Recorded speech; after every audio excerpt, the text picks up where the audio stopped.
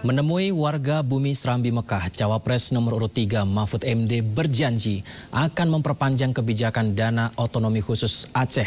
Selain itu, Mahfud MD juga mencoba menyaring kopi sendiri di salah satu warung kopi di Aceh dalam acara tanya jawab soal hukum.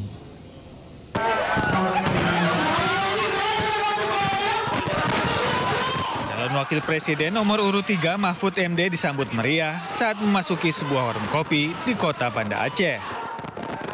Di sini cawapres dari Partai Perindo ini sempat mencoba menyaring kopi dan mengajak pendukungnya untuk minum kopi bersama.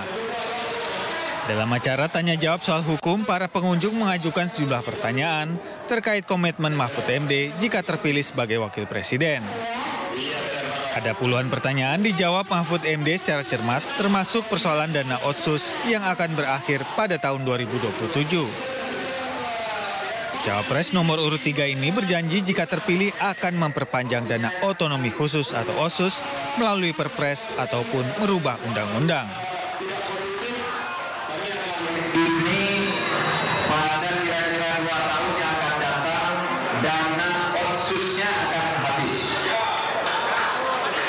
Itu nanti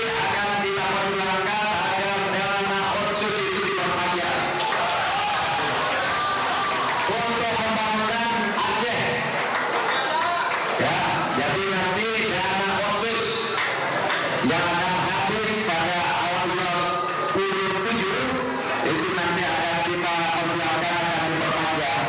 Kalau bisa nanti bisa diatur dengan perpres.